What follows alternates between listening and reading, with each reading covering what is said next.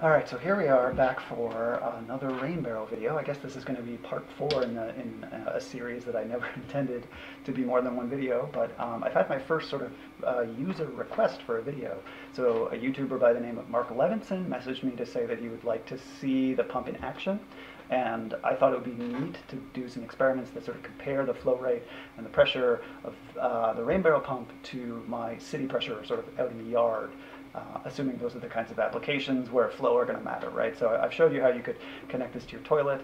You know, if it flows a little bit slower than the city water, so you can't flush your toilet as fast, I'm assuming that's okay.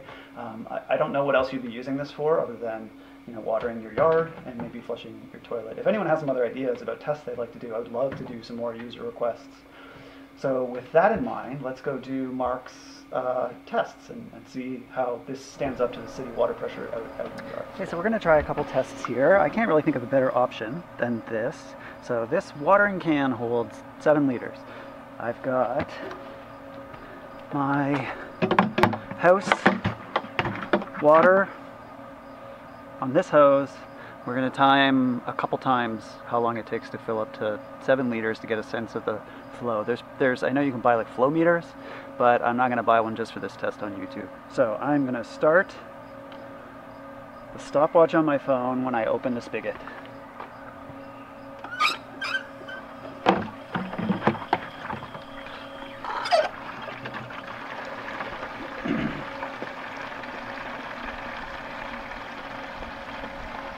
Riveting, and you can see my phone is broken.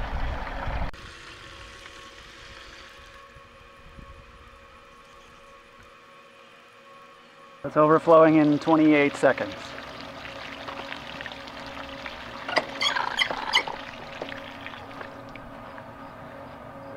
We'll go water some plants and then uh, we'll try it again.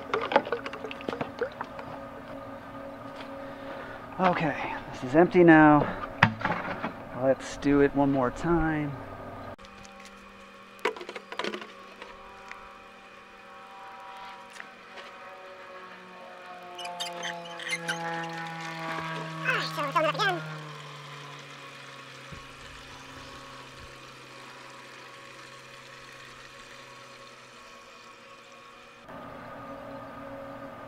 26 seconds or so and it's overflowing.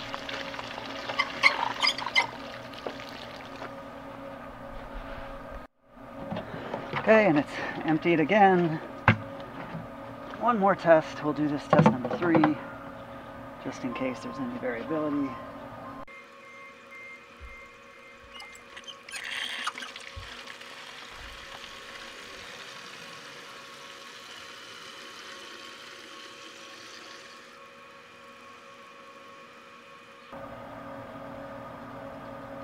Okay, so 27 seconds and we're overflowing.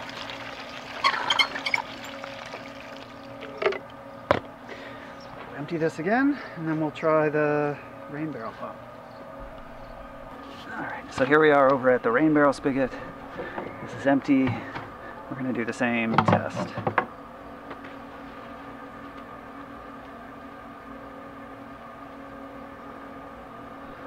Set my phone. I don't know if you can hear the pump going. So you can see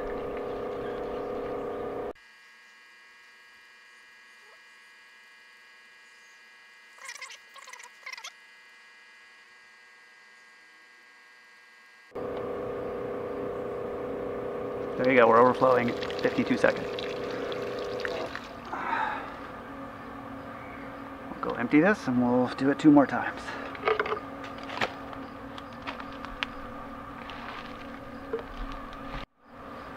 All right, I'll do test number two.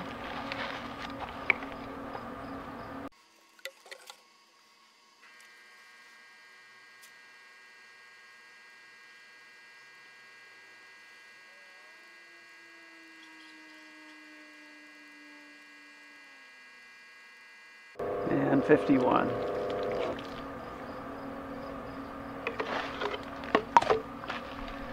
Here we are for the third rain barrel test.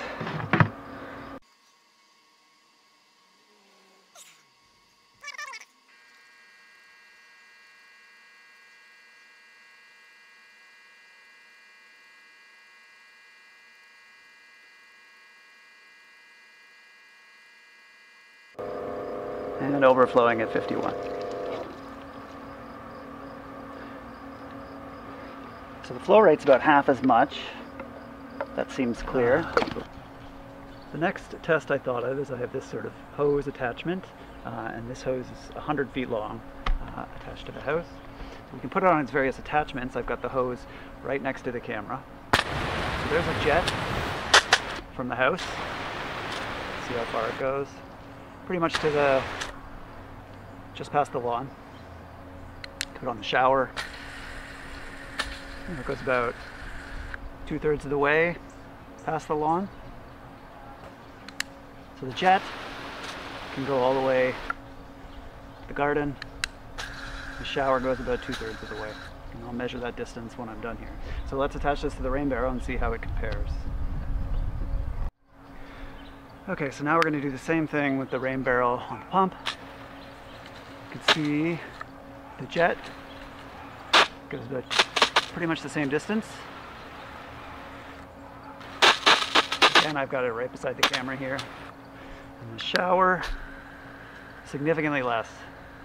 Uh, I'd say it goes about a third the distance compared, well, it goes half the distance that the water one went. So covers about a third of the distance to the garden. But the jet does about the same. In case my angles varied, anyone wants to be sure, and go back and rewind. So yeah, um, it can get pretty high pressures. You know, like if you put your thumb over the hose, you can get it to go a bit higher. Um, I think that's what's going on with this jet. It's constricting the flow, which is increasing the pressure, but if you aren't doing that with the shower, you get significantly less distance. So there you go, there's my experiment with the rain barrel pressure, head to head with my city water pressure. Hopefully that's useful to you. Um, think a better test probably would be to put this to a sprinkler, but I don't actually own a sprinkler because I don't really care what my lawn looks like. My guess is that if you got one of those wavy sprinklers, um, this may not push it as far as you used to, but if you've got one of those kind of sprinklers, it might actually work okay. Um, yeah, so thanks to Mark Levinson for the idea for the video. If anyone else wants to see any more ideas with the rain barrel, or you have any suggestions for other videos that I can make, I'd love to hear them. Um, thanks for watching and thanks for the suggestion. Please subscribe, leave a like, uh, leave a useful comment with suggestions, um, and I'll see you guys next time. Thanks for watching.